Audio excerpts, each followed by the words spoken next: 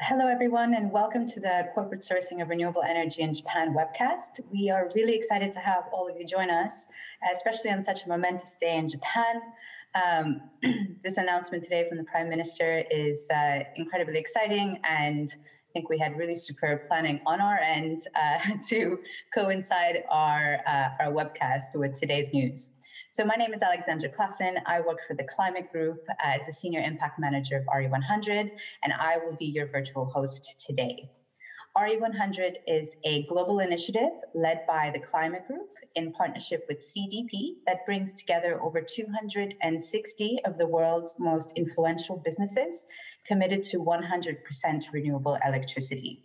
The webcast today has been organized by RE100 and the Global Wind Energy Council, or GWEC, which is the industry association representing wind power in emerging markets around the world, in partnership also with Baker McKenzie and the Global Solar Council.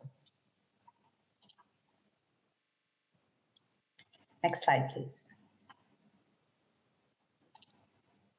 Today's webcast on Japan rounds out our Corporates in the Global Energy Transition series. Uh, in the last several months, we've discussed the local challenges and opportunities of corporate renewable energy procurement in India, Taiwan, Singapore, and Southeast Asia, and Australia. All markets where uh, corporate demand for renewables can become a significant driver of growth. In case you'd like to catch up on the series, you can review all of the recordings on GWEC's YouTube page. And just wanted to share some uh, very important instructions, uh, bring your attention to them on how to use the Zoom platform today before we uh, before we start the webcast. So we will have 30 minutes of networking after the webcast hosted on Zoom. So you can find your audio and video settings on the bottom left here. If you have any questions for our speakers at any point, you can input them into that Q&A box right there. And if you have any technical issues or questions for the organizers, you can put them into the chat box over there. And finally, we have engaged live interpretation for this webinar. You can choose your preferred language, English or Japanese, by navigating to the interpretation icon on the bottom of your Zoom window and selecting your language. If there are any issues using this function, please do send us a message on the chat and we'll help you figure, figure it out. And uh, lastly, please note that this webinar will be recorded and again made available on the GWEC YouTube page after this event. So now moving on to the agenda, uh, we are very privileged to have with us today a group of seasoned experts. Um, we have Joyce Lee, who will be giving us the opening remarks. She's the Policy and Operations Director for GWEC. And then we have uh, three partners from um, Baker McKenzie who will take you through the market readiness and regulatory environment of corporate PPAs in Japan. That's uh, Ewan, Nick, and Masahiro. And then we will also uh, hear from Yasufumi from Fujifilm who will talk about the challenges and opportunities of procuring renewables in Japan. And then we will all have a roundtable discussion that will be moderated by Yusuke Matsuo from the Japan Climate Leaders Partnership. Uh, JCLP is also uh, the RE100 partner in Japan. They've been absolutely instrumental in the growth of uh, Japanese RE100 members, now our second largest membership region after the US. So I will pause here and hand over the mic to Joyce. Thank you very much, Alex. And on behalf of the Global Wind Energy Council, it is a great pleasure to join you all today for the final webcast in our series this year on corporate procurement of renewable energy in emerging markets across the Asia Pacific region. This is, as Alex mentioned, a momentous day to be holding this webinar given the announcement by Prime Minister Suga for Japan's net zero commitment by 2050. This will, of course, have implications for the country's master energy strategy and its long term electricity mix, which is currently aiming for a ramp up of renewables like wind and solar energy to nearly one quarter of Japan's electricity by 2030, and a ramp down of coal fired generation, which currently provides around one third of Japan's power and is still targeted for one quarter of the power mix by 2030. A cleaner energy system is favored by the economics of renewables, which have seen dramatic cost reduction, as well as sources like offshore wind, which offer a response to land use and terrain challenges in Japan. GWEC is already forecasting more than 7 gigawatts of offshore wind to be installed in Japan through 2030, and more than 1 gigawatt of floating offshore wind, mostly in the latter half of the decade. And of course, a greater emphasis on renewables is also being driven by the corporates operating in Japan, which are increasingly making commitments to coalitions like the RE100 and targeting ambitious emissions reductions. So there's clear demand for renewable energy from policymakers for large scale installations and from industry for greater access, direct procurement, and larger volumes. I'm looking forward to the presentations today on how this is working on the ground in Japan, the market readiness and the barriers for corporate sourcing, as well as the real world experience of a buyer, and what can be done to really unlock the growth opportunities of the corporate market in Japan. So thank you very much, and I look forward to a dynamic discussion ahead. Thank you very much, Joyce. So now we are welcome to um, us introduce our first uh, our first speakers for the day. So it's Ewan McPherson, uh, Nick Iguchi, and Masahiro Tanabe from Baker McKenzie will be speaking about the market readiness and regulatory environment of corporate PPAs in Japan. Gentlemen, you're all set. Great. Uh, thank you very much, Joyce and Alexandra. Uh, it is a very exciting day. Uh, we're all very happy to be here talking. Um, I won't spend a lot of time introducing us, but we all work in the Renewable and Clean Energy Group of Bakers in Tokyo. I've been in Japan now for 20 years, and I think the pace of change is only getting faster. And day after day, we see new and, and more exciting developments happening in Japan. Today, we're going to split our talk into sort of three sections. I'm going to start by talking a little bit about the market forces that are impacting on corporate PPAs in Japan. I'll hand over to our partner, Naoki Nick Iguchi, who will talk about some of the regulatory issues. And our colleague Masa Tanabe will then talk about some of the structures we could use for corporate PPAs. All of them are important, um, I think understanding the background to the market will, will, will, will, allow us to really understand why Japan hasn't had so much growth in this area. So just turning to the next slide, thanks.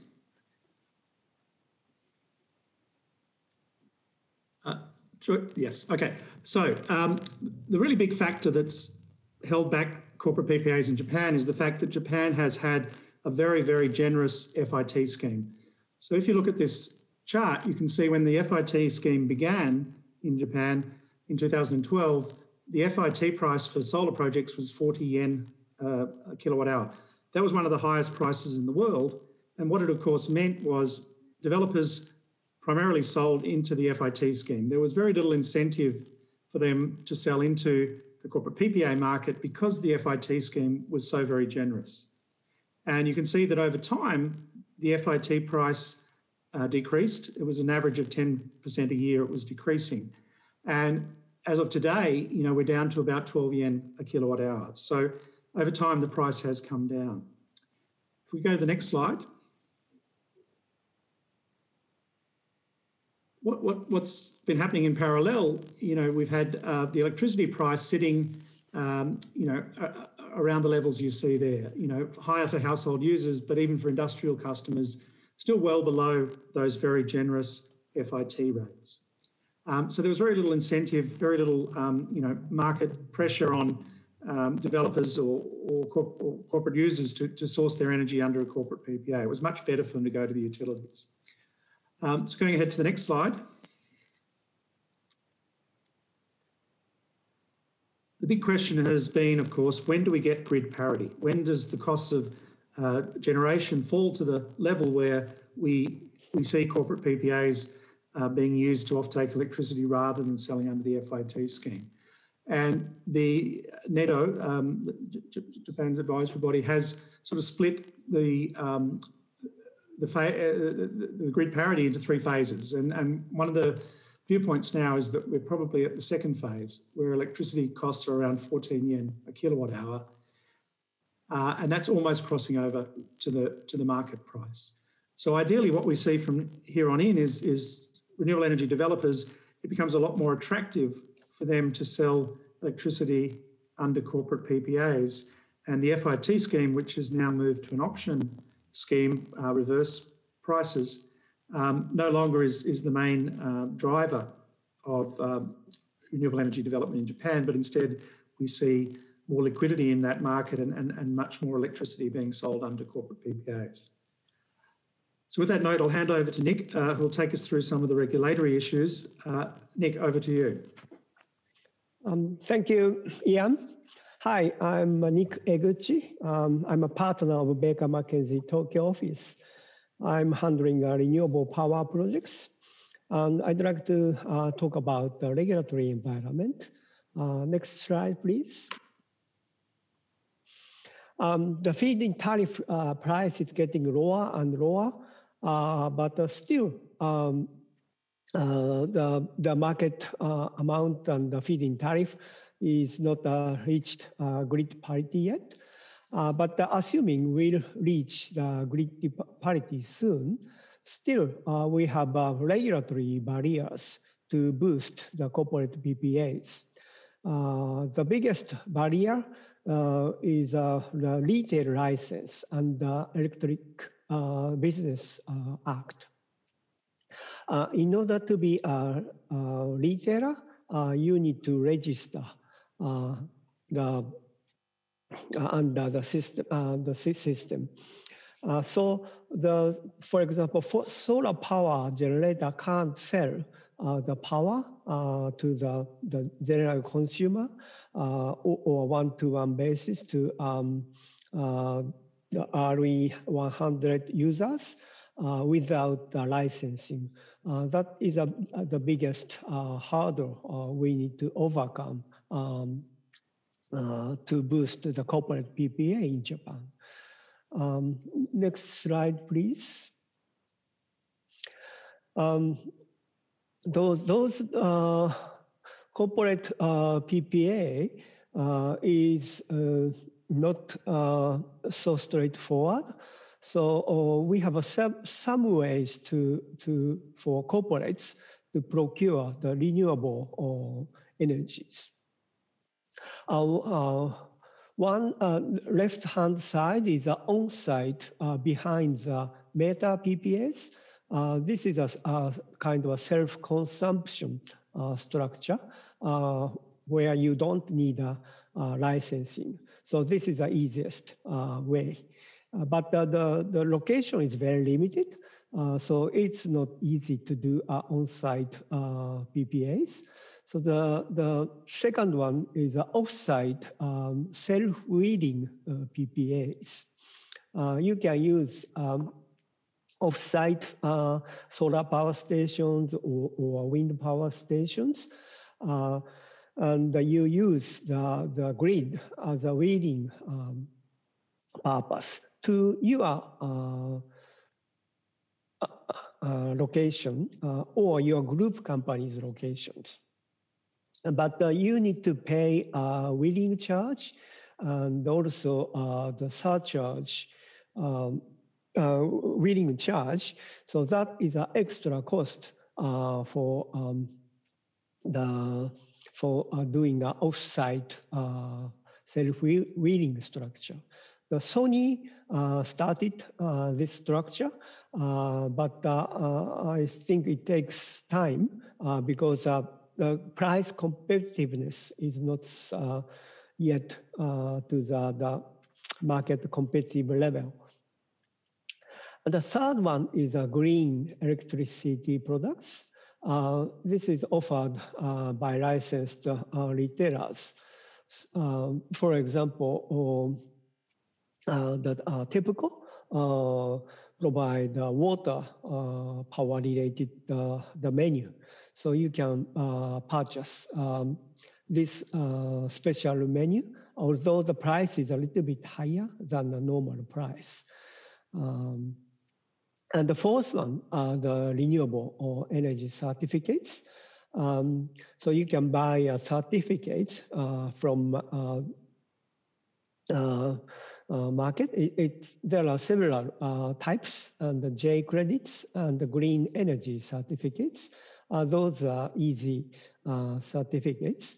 Uh, and with respect to uh, non-fossil certificates, uh, you need to make sure the sources should be the renewable power source. So you need to have a tracking system to track the actual nature of, of the power to use the non-fossil certificates. So uh, there are several uh, ways to procure the uh, the renewable power, but uh, we must have uh, the corporate PPA to boost the uh, large amount of corporate sources for renewables. So uh, MASA will look around some structures to achieve this purpose. So over to you, Masa.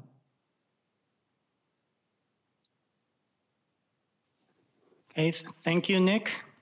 Uh, my name is Masa Tanabe.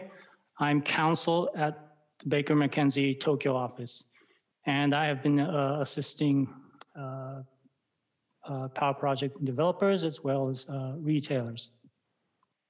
And as Nick said, uh, there are certain ways for corporates to procure renewable energy electricity, but at some time, there will be a need for corporate PPAs.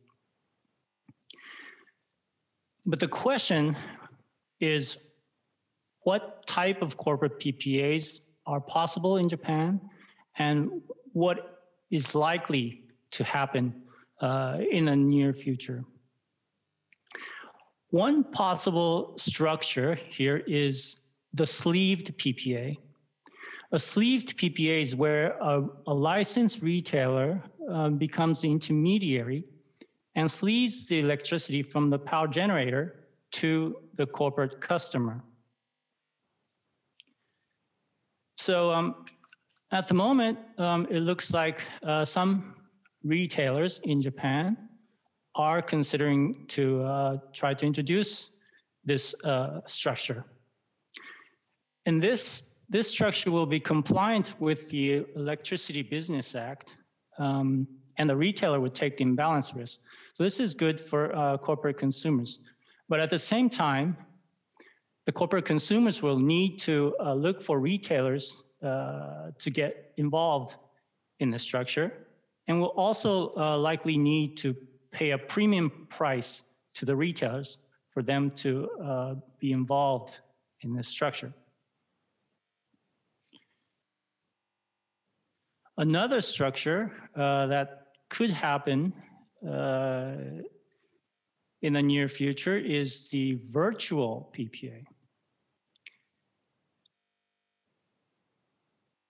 Uh, if you can go to the next slide. Um, virtual PPAs is where um, there is no physical transfer of, of electricity.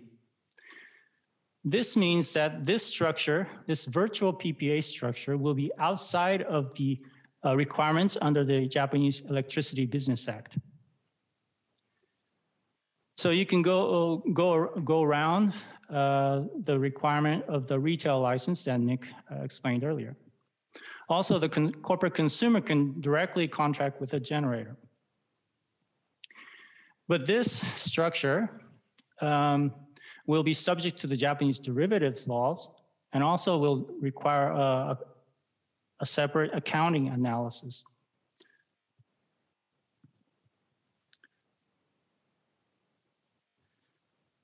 But what will happen in the next few years, possibly, is uh, the next slide, which is a combination of feed-in premium and sleeved PPA.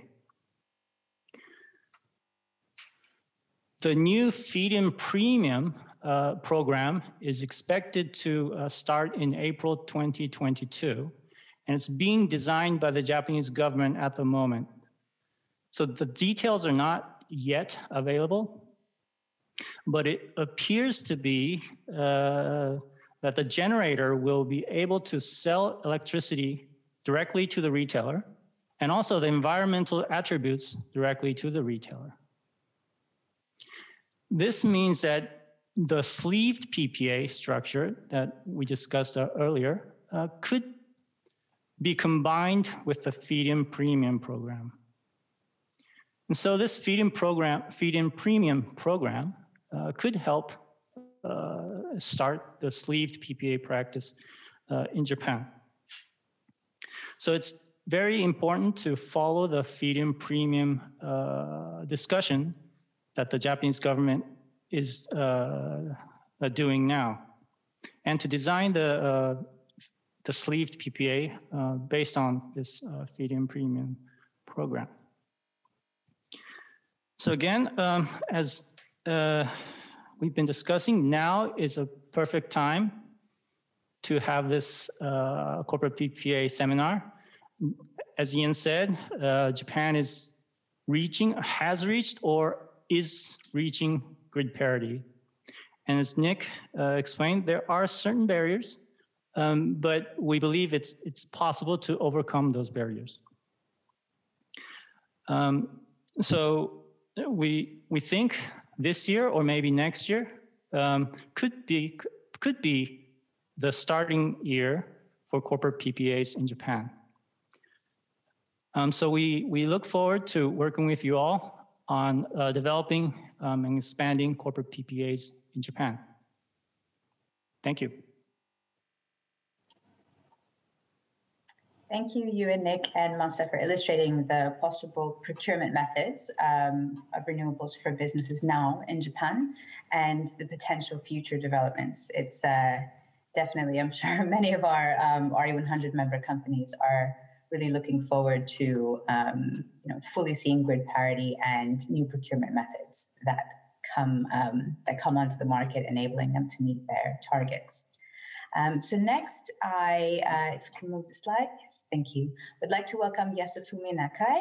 He's the general manager for Ecology and Quality Management Group in the ESG division of Fujifilm Holdings Corporation, and he'll be giving the, the buyer's perspective um, of what it's like procuring uh, renewables in Japan. So I hand over the floor to you. Yes, for me.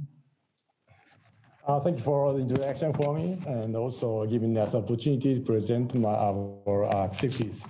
So I'm Yasumi Nakai, Fujifilm Holdings Corporation, and I'm going to uh, present renewable energy sourcing in the Fujifilm Group. Uh, next slide, please. Uh, first, I'd like to start with uh, our CSO plan. This diagram shows our structure of our CSO plan, and we have identified six uh, priority area, and, and, and environment is uh, one of the priority area. Uh, this means uh, introducing renewable energy is a part of this CSO plan. So next slide, please in the private area environment, so there are four private issues and address climate change, the first uh, private issue. And we have two set two targets. Uh, one is uh, reduce the Fujifilm Group's carbon dioxide emission by 45% by fiscal year 2030 uh, compared to the fiscal year 2013 level. So this directly links the introduction of uh, renewable energy. And the second target, uh, contribute to 90 million ton of carbon dioxide emissions reduction, is uh, to is uh, for uh, reduction uh, by our product and services in the society. So next slide, please. So this shows uh, carbon, progress of carbon dioxide emission reduction across the entire product life cycle. So we calculate the total carbon dioxide emission across the entire product life cycle. So in 2019, uh, last year, we uh, uh, reduced carbon dioxide emission by 30%, and it's the same as the original target. that is why we raised the target as 45%.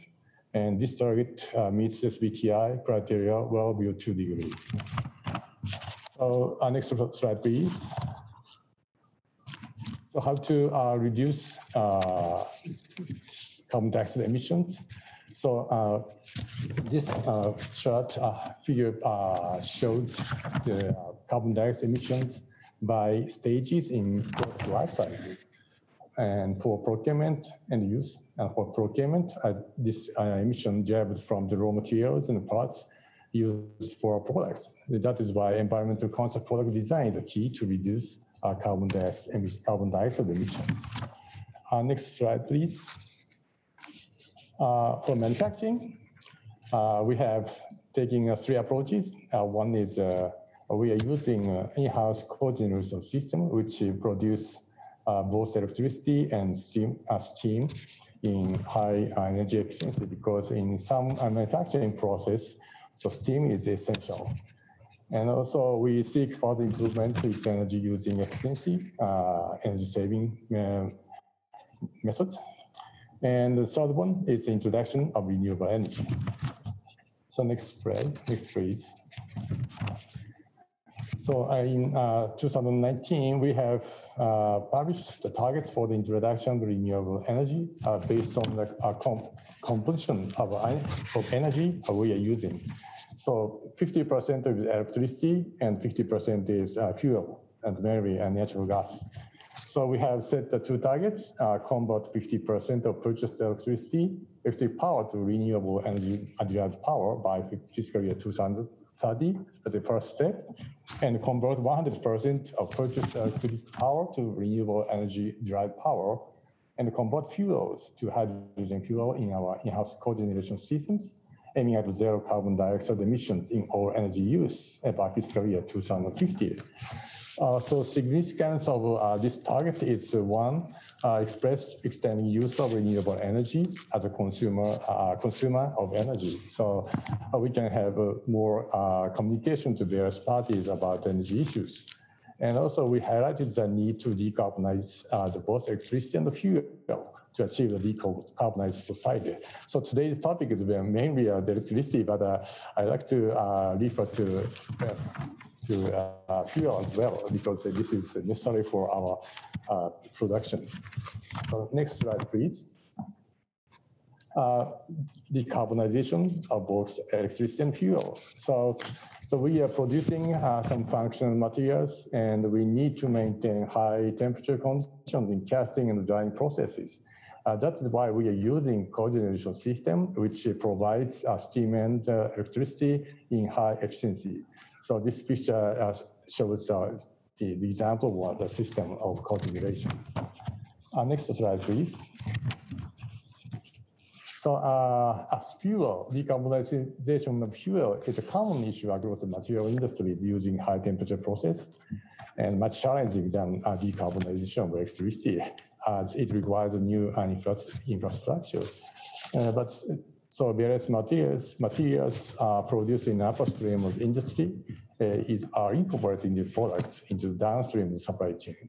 So uh, not only decarbonization of electric electricity, but decarbonization of fuel is one of the keys to achieve uh, decarbonization through whole supply chain and towards a sustainable society. So uh, next slide, please.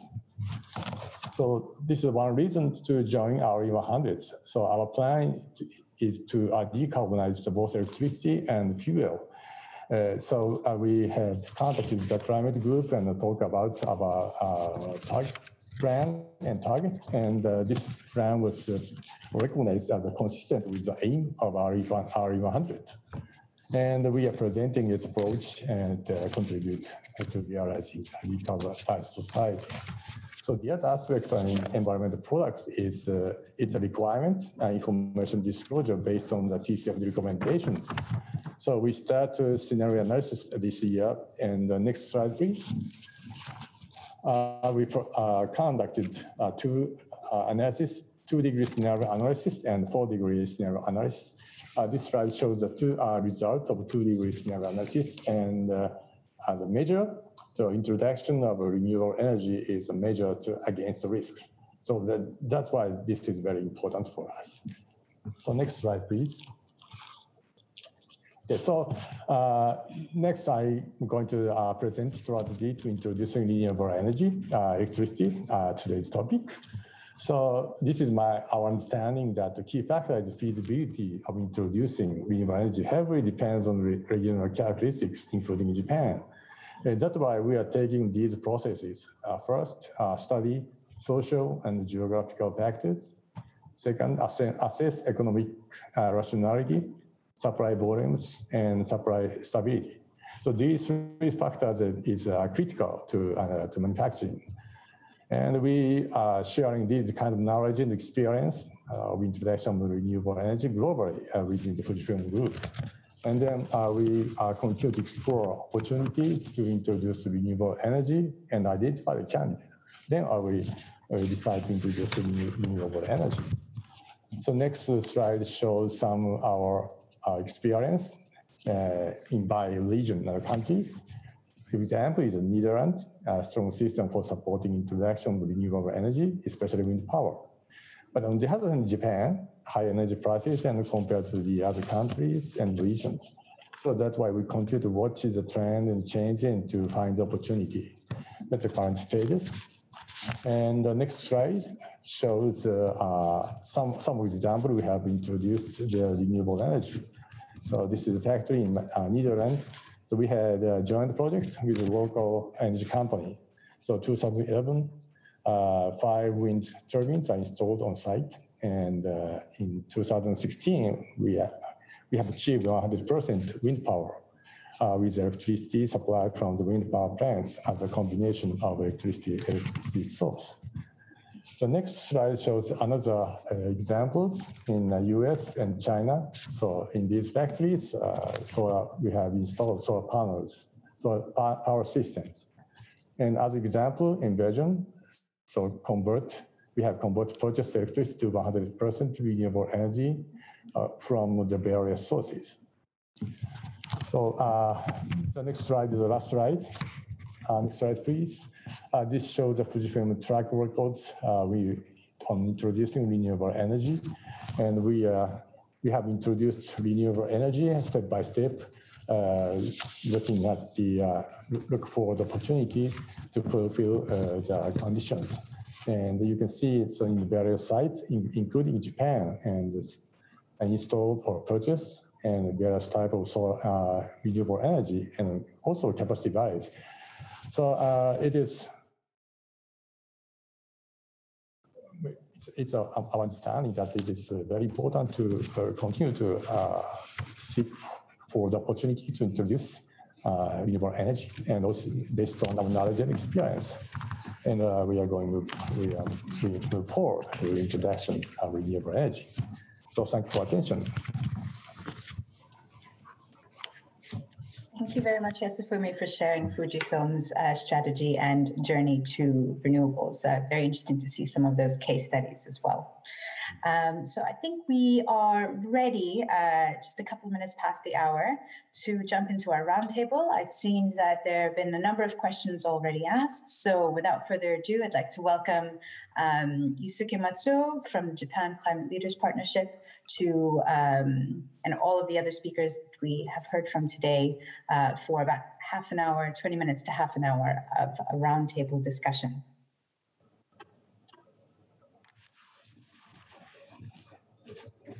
はい、ありがとうございます。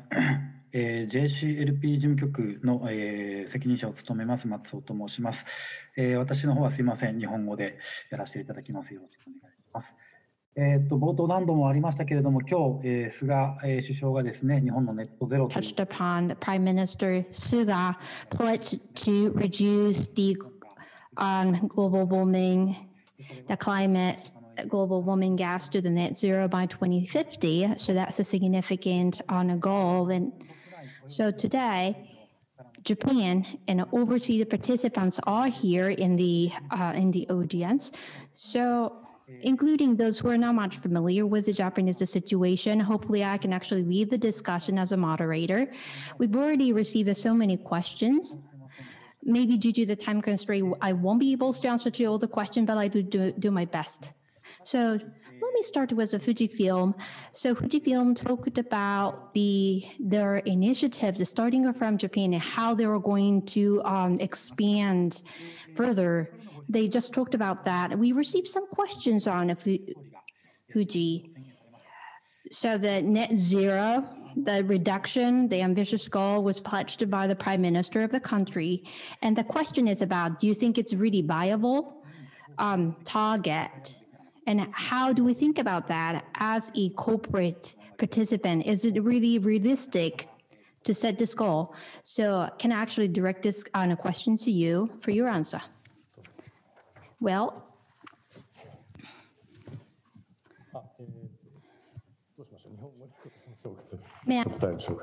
uh, so our view is the, uh, uh, back backcast and how we should be in 2030 and 2050. So this is starting from our thought. And uh, through our experience, it is uh, very important to uh, express our position. Uh, I mean, uh, to we we are going to use renewable energy. So that that statement is uh, very important for uh, in society and various energy company because uh, uh, it is a, a message to uh, we, we are going to consume use uh, renewable energy. So I think the, uh, the company which uh, expressing such message uh, gather, so we, we can uh, change the society or we can change our way of thinking. So that, that's the one reason to join RE100.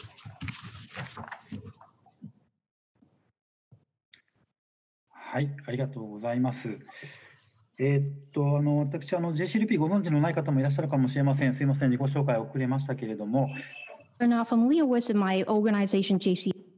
えー JCLP はですねあの、日本の企業を中心に150社が集っております企業のネットワーク150 on companies, including Japanese companies and some overseas companies. About two thirds of RE 100 initiative taken on uh, Japanese companies are actually some member of JCLP, and we have like a vigorous discussion how we could actually realize the big goal. So that's what we're doing right now as an organi- organization in the organization of JCLP, let me actually s- share some topic that we're currently on dis- discussing.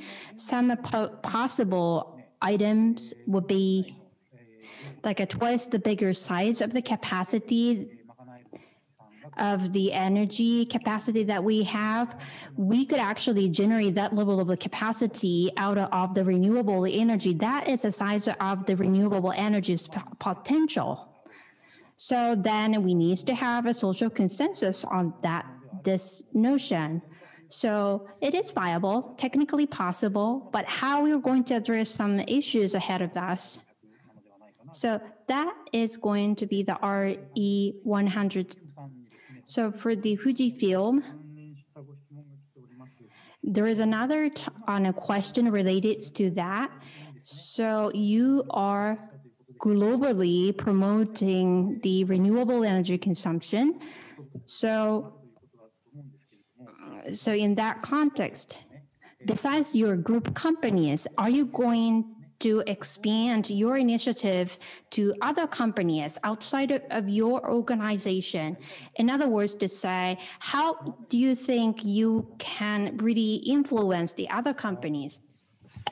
So th- th- that's the reason why we have joined RE100 also Japan CFP. So uh, the power and influence of one company is very limited. That's why we need to gather the voice. So we are in need for renewable energy. Uh, that's why we are attending various kind of initiatives, and also uh, we express our position and what we're thinking to to uh, introduce renewable energies and converting to renewable energy. So, so this kind of conversation uh, is, uh, I think, extremely important. So that, that's our view. はい、ありがとうございました。ちょっとですね、あのベカー・マケニーさんにもいろいろご質問したいんですけれども、その前にです also ね would like to ask some questions to Baker McKenzie team. However, えーフジフィルムさんにお伺いしたいと思います。あの世界中で取り組みされている中で、日本に関しては少しあの、まあ、状況を見ていると、えーウォッチ so している in the あのまあ measures that you are taking, えー日本でこの再生可能エネルギー100%を especially in Japan, if you were to seek 100% RE, uh, what are the two topmost challenges that you face? Manufacturing company like us, uh, there are the three conditions.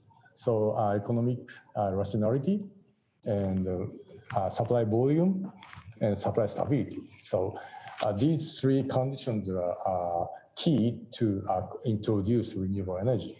That is why we are con- continue to find the opportunity and uh, if possible, in, in a possible case, we have uh, introduced a, a, partial renewable energy even in Japan. But it is uh, at this point, it is very difficult to cover all the energy we are using. We use in some farm manufacturing uh, site. That that is why uh, these three are conditions are, are, are common in, in, global wise. So that, that that's why so uh, we are uh, continuing such activity uh, to try to find the opportunity to fulfill the, these three conditions.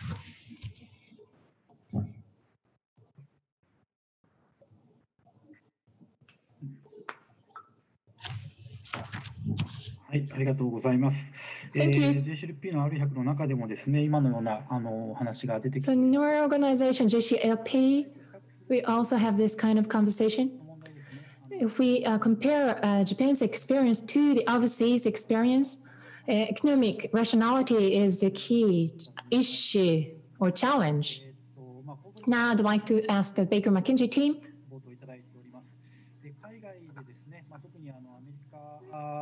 overseas, especially in the US, uh, LE use has been on the rise And the supply volume and also the purchase uh, volume uh, has have been in, in, on the rise. So how and why uh, is the background of this growth in the US? はい、あの江口から最初にちょっとお答えします。Hi, so this is Eguchi. And the price, because it's cheap, uh, companies are encouraged to participate. So that's why in the US, RE, uh, corporate PPA is on the rise. Baker McKenzie has been involved in a corporate PPA since its inception and we have handled quite a, a volume. So the first important uh, difference between Japan and the US is the price, also the supply volume. So I noticed this as a difference. Do you have any information, Tanabe-san? In I this, uh, he said no. Okay, so the price as a differentiator. Okay, thank you for your comment. In Japan, as far as I know, corporate PPA uh, uh, is uh, the target of uh, many companies' interest. One is uh, the FIT or post FIT, uh, the, the rate is on the decrease. So from the supply side, that's a push. Also from the purchaser or buyer side, uh, it's cheaper. Corporate PPA is cheaper than FIT. So that's also an encouragement. So that's why uh, the expectation uh, is on the rise.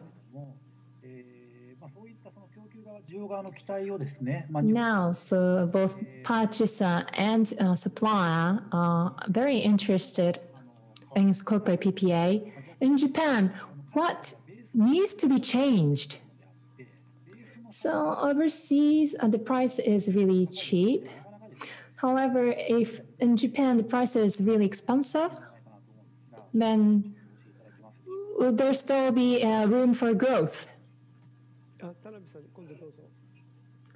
Uh, next, Tanabe-san, it's the microphone is yours. So your question was a problem other than price? この価格であの入手できるかもしれないという期待が需要家の方にあると思うんですけれども。はい。えー、so I guess the demand side is expecting when uh, price uh, decreases, then there might be uh, more supply. But is there also a need for any policy side uh, factor that should help the increase of in the corporate PPA in Japan? Well, as you mentioned earlier, in order for RE to be uh, connected to the grid is the issue in Japan. So apart from that technical issue, what I mentioned today, the law regulation is also an, a challenge.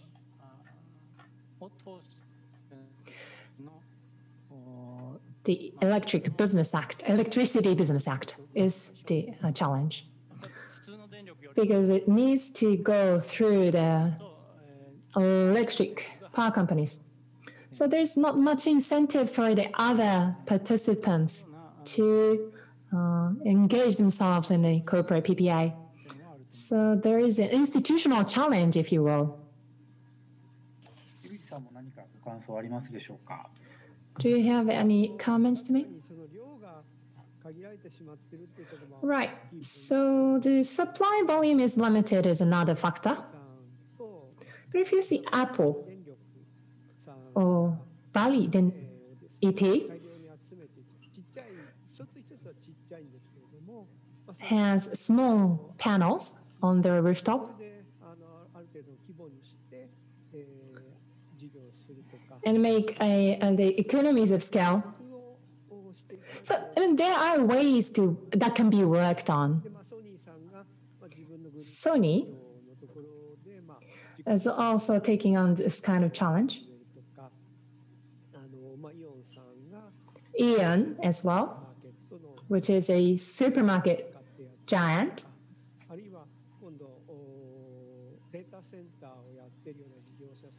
and any uh, other companies who has their data centers, they're also uh, trying to switch to RE.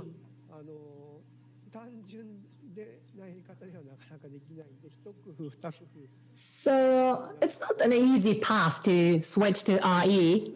However, uh, there are some ways that can work uh, can be worked on. あのやはり日本では場所が少ないっていうところ But in Japan, also the terrain is limited, なかなかできないで and the regulations on top of that. あったりするとおまた各社が So if the regulation is too strict, then it's very very difficult. Uh, it's not favorable, if you will, for the corporates to uh, join P- corporate PPAs. えー本当に日本で再エネの議論をする Okay, thank you. So When we talk about RE in Japan, there are many challenges, of course. Now I'd like to ask Mr. Nakai.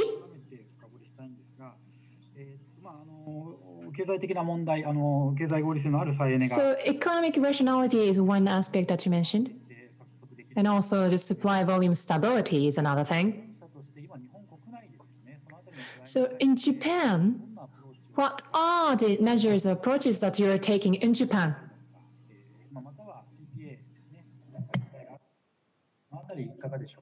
what kind of expectations the government would have. So, uh, what do you think?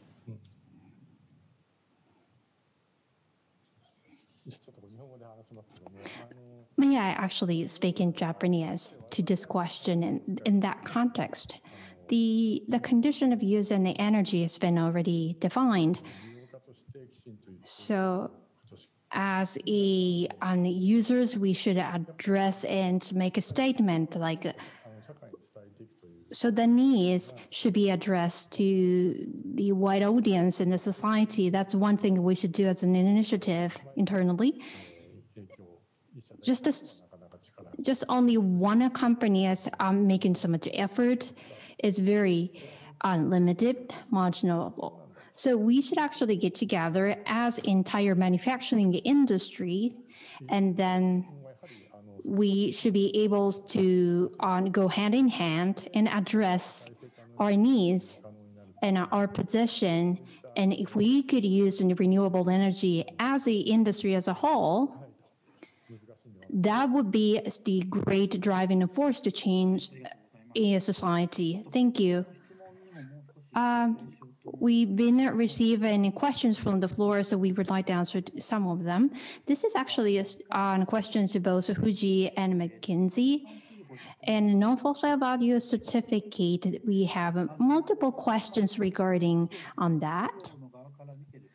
So as a user company, you taking advantage of the non-fossil value certificate, you could actually achieve the 100% of the new renewable energy. How do you make of that?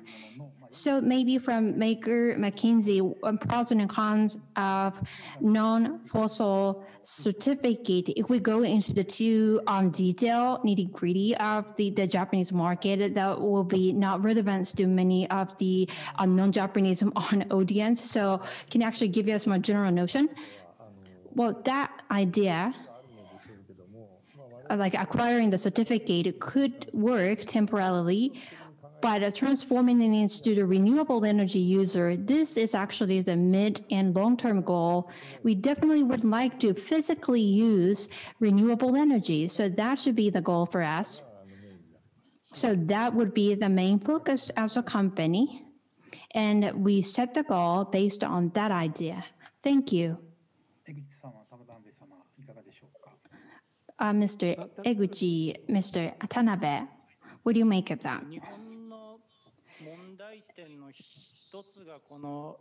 And one of the uh, issue in Japan is the how we can actually establish the structure of the renewable energy certificate. Um, Nick already introduced the three main and has some challenge, very limited um, certificate available in the market, not that user friendly. And that is so how we could design them in the way that the um, users can user would be happy to use them.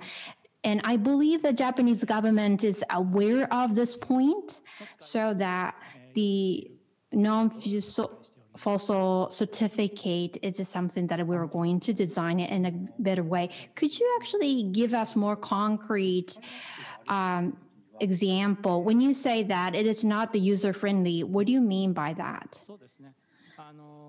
Uh, J credit と、えー、J credit or the green electricity certificates, especially as the number of the green energy certificate, the number of them are very limited. And for the non-fossil certificate, initially, designed for another purpose, not purely for the renewable energy consumption. So these are initial design was not meant for the renewable energy consumers and there wasn't any tracking system at all. So for the non-fossil certificates initial purpose is different from what we are trying to to achieve. Thank you. So when we start to talk about the Japanese market issues, then there is actually the surcharge system, which is disadvantage to the renewable on the market, and also the offshore market would give a significant impact on the retailers. There are mul- multiple different issues that we need to address in the market. So the consumers or the users sending a message that we do need um, renewable energy. It's like a voice of the users needs to be heard, and we have to make uh, make an effort to do that. Now the JCLP, 20 by 2030, 50% of the renewable energy usage, we've already actually submit a proposal. JCLP, I know the renewable energy in Japanese market has been already unconvoluted, but I would like to quickly touch upon where we are and how it's designed. Now the upper stream renewable energy goal, now we are 2020, but heading toward the 2030. So um, various um, policies and structures needs to be designed in line with that the big goal.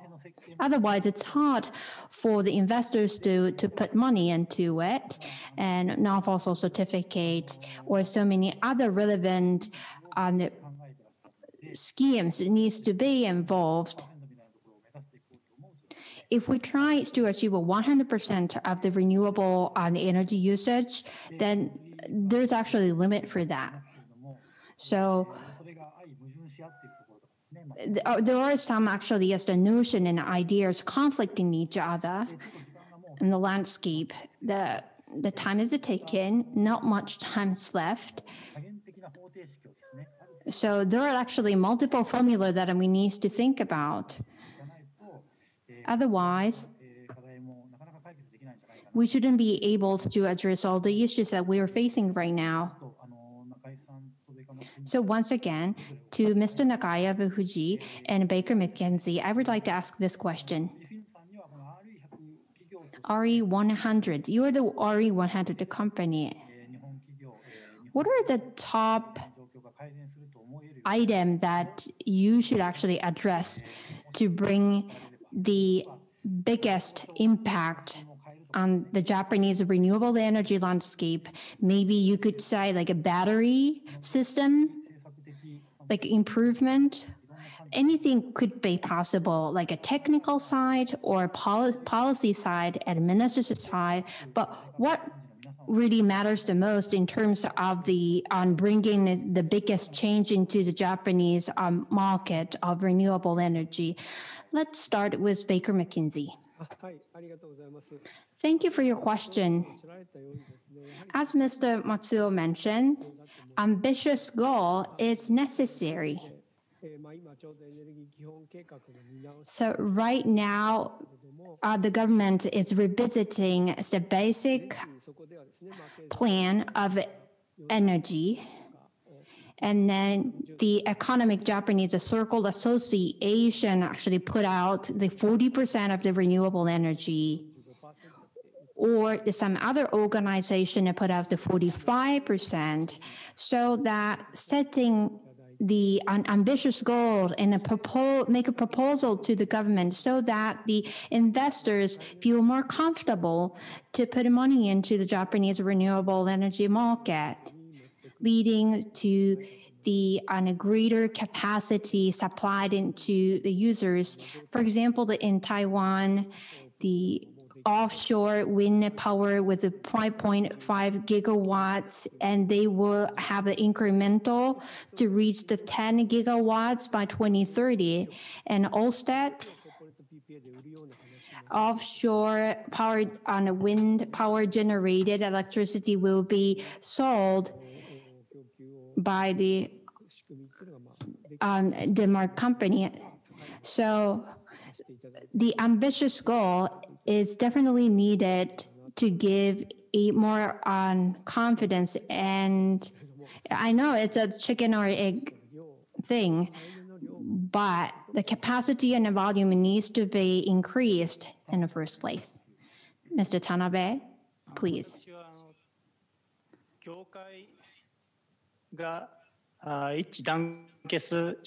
The industry as a whole needs to go hand in hand and be creative to tackle with grapple with the the issues not only that's users but the retailers or generators everyone as a stakeholders in the market. How can we address the issues without subsidiaries? or incentives from the government. Every single players get together to be creative to address the issue. Thank you. Can I ask your opinion, Mr. Nagai?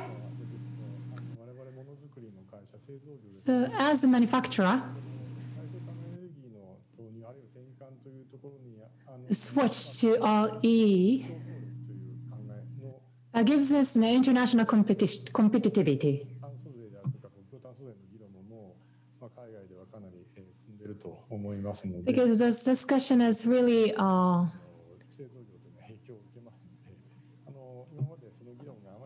energetic overseas, so and it's also uh, impacts the Japanese market. So let's just keep the discussion going. Thank you. Today, uh, Prime Minister Suga has mentioned a net zero policy.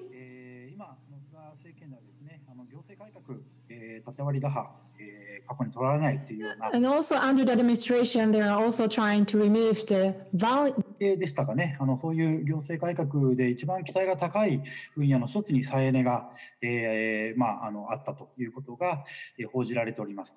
でさらにはですね、その行政改革を担当されるのがですね、あの河野大臣ということで、河野大臣はもう以前から、えー、再エネには非常にあのね、あの熱心に取り組んでいらっしゃいますので、えー、これでさまざまな問題ありますけれども、えー、一つ日本が大きく動く重要なタイミングがこれから来るのかなというふうに思っております。で、まあ、あのそういうような中でですね、えー、富士フィルムさんとかベイカ・マッケニーさんのようなさまざまな方が、まあ、ある程度ですね、あのネットワークを組みながら、えー、いい形で発信ができればですね、かなり大きな変化が日本に起こるんじゃないかなと、えー、個人的には思っております。すみません、あの、拙いファシリテートではございましたが、これで、えー、一旦、えー、グループディスカッションを終了させていただきます。ありがとうございました。ありがとうございました。Thank you, much. Uh, thank you very much, Yusuke. And uh, thank you to all of our partners and um, to our speakers today. We've heard some really, really interesting insights on the Japanese market and how, despite the fact that there are regulatory and technical issues, maybe issues of perception, um, the future does look bright. I'd like to highlight um, message on collaboration and innovation at the end. I think that's kind of within the positive spirit of keeping the ambitions high and uh, definitely pushing for greater targets for renewable uh, energy now that we've had the top line message from government um, on this day.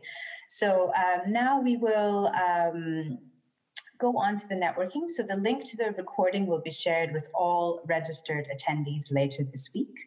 And we now invite you to spend a few minutes meeting each other and interested parties in corporate procurement by engaging on one on one virtual networking. So the networking sessions will be hosted on separate Zoom meetings with English or Japanese rooms available. Please select the meeting link for your preferred language for communication. That will be shared in the chat box right now. And you can join these meetings for randomized one on one matches in a private room, and they will last five minutes per match. We will end uh, the networking at 6 p.m. Japan time. And uh, yes, thank you again, everyone. And uh, please do please do turn your cameras on and enjoy the next few minutes meeting one another. Thank you. Thank Bye-bye. you.